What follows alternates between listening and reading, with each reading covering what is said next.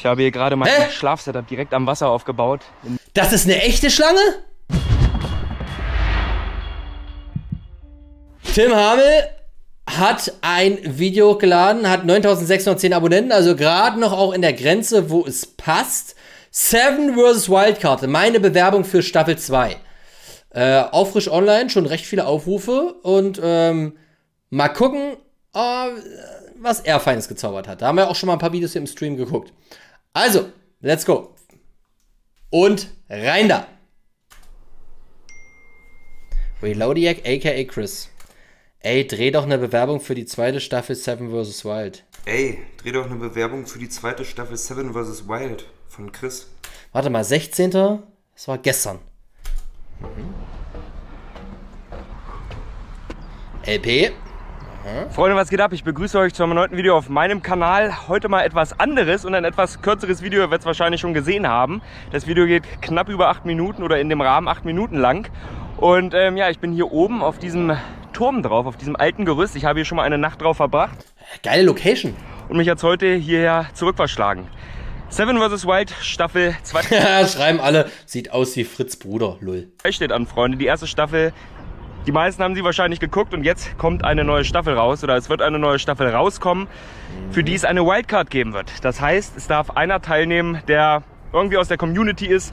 Mhm. Richtlinien gibt es auch, der darf nur unter 10.000 Abonnenten haben. Die habe ich ja noch nicht, ich blende es einmal hier ein, wie viele Abonnenten ich derzeit habe. Ey, krass, warte mal, er hat 8.600.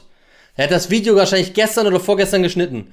Und jetzt hat jetzt einfach 9600. Einfach mal kurz durch das Video 1000 Abos gemacht. Geil. Ist doch cool. Und ich habe mir gedacht, Freunde, wie soll es anders sein? Ich will dabei sein. Ich habe da Bock drauf. Und ähm, deswegen drehe ich dieses Video hier. Ich habe mir gedacht, ich will das Video einfach hier an so einem schönen Spot starten. Mhm. Direkt oberhalb von diesem See stehe ich gerade. Ist wirklich ein geiler Spot. Gerade auf dem Gerüst. Nichts Illegales. Natürlich habe ich die Einverständniserklärung.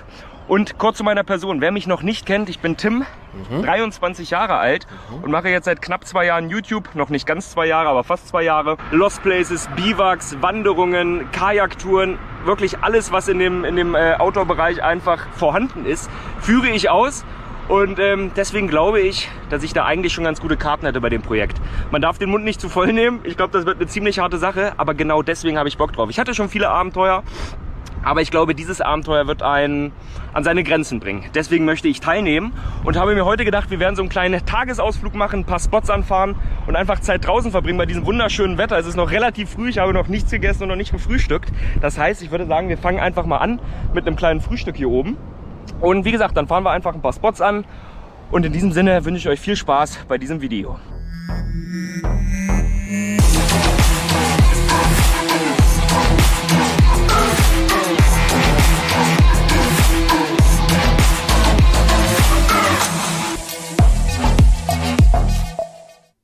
Ich habe hier einen kleinen Daypack dabei, da ist ein bisschen Stuff drin, natürlich auch ein bisschen Kameraausrüstung, aber halt eben auch ein bisschen was, um jetzt hier ist das ein Bier? oben zu köcheln. Das Ganze wird auf dem Esbit-Kocher nee. stattfinden. Nee, das ist Öl, oder was? Nee, ist Öl.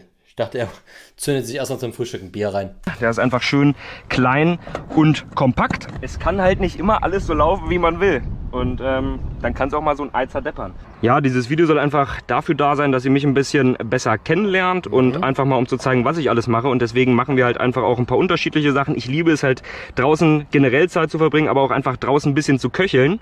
Und deswegen fangen wir auch... Das ist die Frage, wie viel man so köcheln kann auf so einer tropischen Insel, ne? Ganz einfach damit an. Ja, und wie kann der Tag besser starten als mit einem kleinen Frühstück? Ich möchte euch noch einmal so ein bisschen die Umgebung zeigen. Da kommt wieder ein Zug angeprescht. Da ist ein kleiner See. Hier bin ich hochgekommen. Man kommt hier auch nicht so einfach hoch.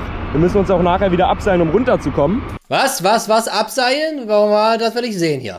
Und ähm, ja, hier auch noch so ein schöner See. Türkisblaues Wasser. Hier wurde schon das ein oder andere Video gedreht, unter anderem auch ein Floßbau-Video. Und ich glaube, dieses Bild spricht für sich. Ein Messerchen ist natürlich auch mit dabei. Ich erlebe aber auch nicht nur Abenteuer draußen in der Natur, wie zum Beispiel ein schönes Winterbiwak mit Lagerfeuer, wo wir mehrere Nächte im Tiefschnee übernachtet haben, uns eine kleine Schneehöhle gebaut haben oder auch einfach so im Wald sind und dort bivakieren oder an krassen Orten. Da waren schon wirklich viele dabei die mir ein bisschen an die Substanz gingen und auch nicht nur Auslandstouren. Nein, ich bin auch in Städten unterwegs und mache da kleine Selbstexperimente. Und zwar meine Obdachlosen-Experimente, bei denen ich halt für einen gewissen Zeitraum auf der Straße lebe. Ich habe das Ganze in drei unterschiedlichen Städten gemacht. Das erste Mal in Kassel, wo ich wirklich eine sehr, sehr intensive Zeit hatte. das zweite Mal in Hildesheim, wo auch wirklich heftige Gespräche dabei waren und ich sogar wirklich 48 Stunden mit einer hilfsbedürftigen Person die Zeit verbringen durfte. Wir hatten krasse Übernachtungen in der Stadt im Parkhaus und jetzt zu guter Letzt noch auf Madeira in Funchal gemacht hatte. Ah, krass, okay. Da habe ich tatsächlich bisher noch nicht reingeguckt, ich habe immer die Vorschaubilder gesehen. Und was darf nicht fehlen? Eine Avocado. Das Ding heißt Avocado. Und damit würde ich sagen, erstmal eine kleine Stärkung, ein bisschen die Sonne schon mal genießen und dann gibt es auch gleich den ersten Spotwechsel. Guten Appetit. Was wirklich krass ist, ich mache mir jetzt schon enorm viele Gedanken darüber, über dieses Projekt Seven vs. Wild Staffel 2, obwohl ich gar nicht dabei bin oder noch gar nicht in Frage kommt, dass ich dabei bin, aber eben wie ich mich verhalten würde, was meine ersten Schritte auf dieser Insel wären und irgendwie hängen meine Gedanken Ja, hau mal raus, was wären denn deine ersten Schritte? Lass uns mal ein bisschen teilhaben. 24-7 tagtäglich. Ähm, einfach nur bei diesem Projekt. Würde ich mir was krasses bauen? Wie würde ich es bauen? Würde ich mir vielleicht sogar eine Art Klamotten selber machen? Wie so eine Art Tarzan-Schürze hier unten aus irgendwelchen Blättern und sowas. Also es ist wirklich krass. Das Ganze nimmt mich wirklich mit. Oh, so, was haben wir da Die Schönes? ist eingehakt, das Seil auch. Dort hinten festgemacht. Natürlich wäre ein Seilschoner noch besser. Aber für dieses eine Mal geht das. Ah, okay, er hat auf jeden Fall hier noch Abseil-Action mit dabei, was schon mal ganz geil ist. Seil kommt von unten, was immer schon mal ein bisschen risky ist. Und äh, Industrieklettergurt, ja, ist nicht ohne die Abseilsituation jetzt. Weil das gibt gleich diesen Klack, Klackgeschichte. Da brauchst du krass Körperspannung und musst dich dann so reinpendeln lassen. Mal gucken, wie er es macht. Ah, hat er nicht gezeigt! Hat er nicht gezeigt! Scheiße! Weil. Besser. Ah, Aber für nee, mein Freund. eine Mal geht das. Hier steht er nämlich jetzt noch da.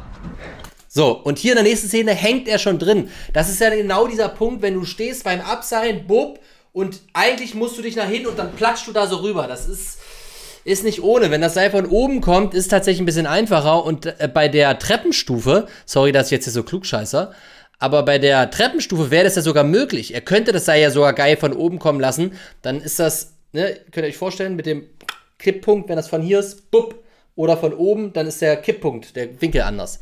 Aber Fachkram. Besser. Aber für dieses eine Mal geht Aber das. hat er nicht gezeigt. Schade. Weil eigentlich klatscht es da jetzt an der Stelle. Und runter. Ich stelle mir natürlich aber auch die Frage, wie ist er denn dann hochgekommen? Aber trotzdem ein bisschen Action drin.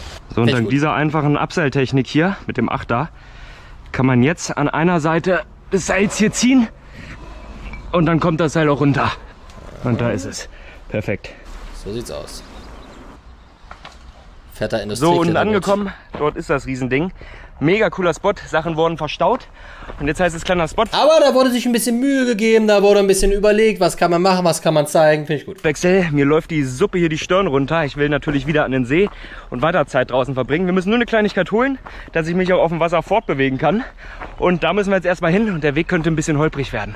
Also ab durchs Gelände und ein bisschen Offroad fahren. Okay, jetzt kommt ein bisschen Offroad-Session. Also ich muss jetzt ein bisschen Offroad nach Hause fahren und da möchte ich ganz gerne mein Kajak holen. Ich hatte erzählt, dass ich mich auf dem Wasser fortbewegen möchte, aber auf jeden Fall wieder an den See möchte. Es ist super warm, wir haben es 22 Grad, mittlerweile auch 13.12 Uhr und jetzt heißt es noch ein bisschen durchs Gelände hier und das Kajak holen und dann zum nächsten See. Macht auf jeden Fall richtig Spaß hier mit den Pushen unterwegs zu sein. Die habe ich jetzt seit einer Woche, Allterrain-Reifen und bin mega zufrieden damit. Ich bin hier gerade mitten in der Natur unterwegs und fahre hier gerade diese Feldstraße lang und habe hier gerade gesehen, dass dort unten ein Fahrrad im Fluss liegt.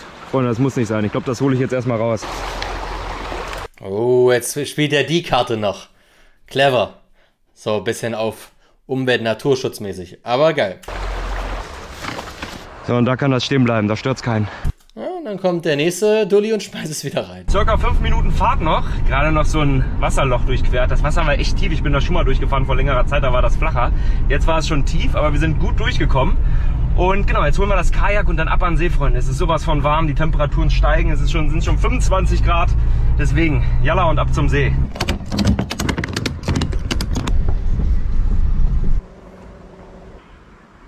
Das ist, glaube ich, eher so ein Wildwasserkajak, ne? So ein kurzes, kleines. Steuern wir mal auf die Potence hier zu. Und tatsächlich habe ich hier auf dem Bagger beziehungsweise hier unten auf so einem, auf diesen Bojen drauf übernachtet. Da stand der Ah, Bagger nur noch ein bisschen anders. Ja, und dann habe ich hier eine Nacht drauf verbracht. Mensch wie jeder andere. Ich habe mir erstmal hier ein Eis mitgenommen, das werde ich jetzt hier verköstigen. Und ich trinke auch das ein oder andere Mal gerne mal ein Bierchen. Ja, also ein ganz normaler Typ. Und in diesem Sinne, Prost auf euch.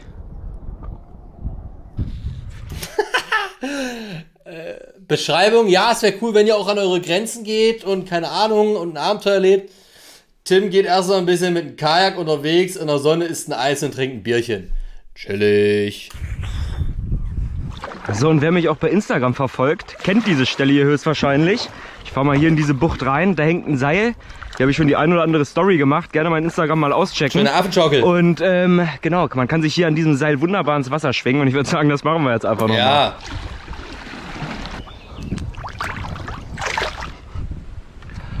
Mir hat mal ein weiser Mann gesagt, hab Vertrauen ins Material.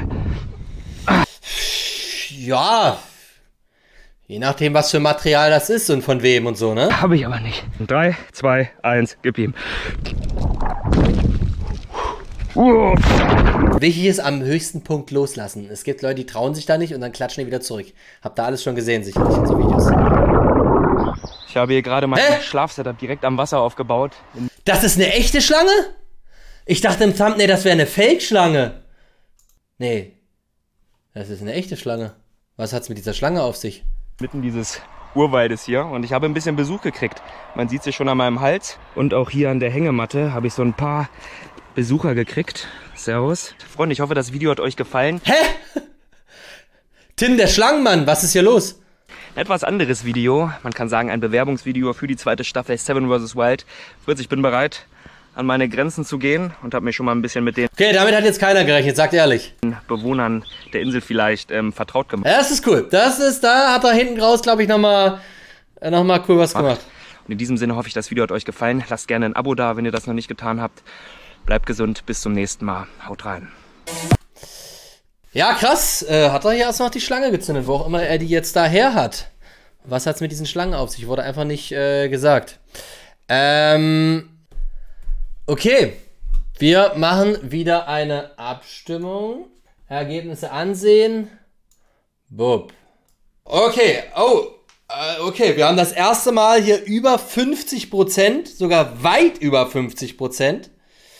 Ähm, wie gesagt, Tim hat unter ta- 10.000 Abonnenten gehabt, also alles fair, auch wenn er jetzt vielleicht seit zwei Jahren schon Kanal hat, einige Leute von ihm kennen, aber irgendwo mussten wir eine Grenze ziehen und wie gesagt, deswegen haben wir gesagt, ey, 10.000 ist eine, ist eine gute Grenze, von daher alles nach offiziellen Regeln. 82% schon. Ganz wichtig, um das nochmal zu sagen, wir gucken uns viele an, das heißt aber nicht, dass der mit den meisten Prozent, mit den meisten Ja-Prozenten tatsächlich wirklich auch ähm, dann dort den Platz kriegt, sondern das ist quasi eine Einschätzung der Community, um zu gucken, bla bla bla. Im Endeffekt werde auch ich das nicht entscheiden, sondern das entscheidet das Orga-Team im Hintergrund. Aber äh, geil, damit haben wir auf jeden Fall äh, die erste Bewerbung, die über 50% hat, weit über 50%, 82%. Also bisher von dem, was wir gesehen haben, äh, sagt die Community, die Leute, die im Chat sind, ey, von den vier äh, Videos würden wir Tim als erstes da sehen. Nee, war doch cool, oder? Sehr schön.